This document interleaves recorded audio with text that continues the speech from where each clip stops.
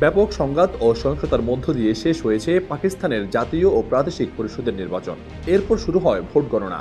কিন্তু ফলাফল প্রকাশ করতে নজিরবিহীন দেরি হয়, যা নিয়ে প্রশ্ন তোলে বিভিন্ন মহল। অভিযোগ ওঠে ফলাফলের বিশ্বাসযোগ্যতা নিয়ে। এমন পরিস্থিতিতে মুখ খুলেছেন পাকিস্তানের সেনাপ্রধান। তিনি বলেছেন, পাকিস্তানকে অবশ্যই রাজনৈতিক নৈরাজ্য ও বিভাজন থেকে বের হয়ে আসতে হবে। শনিবার সকালের দিকে তিনি এই মন্তব্য করেন। পাকিস্তানের জন্য স্থিতিশীল নেতার প্রয়োজনীয়তা উল্লেখ করে জেনারেল সৈয়দ ওসিম মনির বলেন, পঁচিশ কোটি মানুষের প্রগতিশীল দেশে রাজনৈতিক বিশৃঙ্খলতা ও বিভাজন অসঙ্গতিপূর্ণ। এদিকে ইমরান খানের দল পাকিস্তান তেহরিকে ইনসাফ দলীয়ভাবে নির্বাচন করতে না পারলেও দেশটির জাতীয় নির্বাচনে সবচেয়ে বেশি আসনে জয়ী হয়েছেন তার সমর্থিত প্রার্থীরা। নিরানব্বইটি আসনে জয়ী হয়েছেন তারা।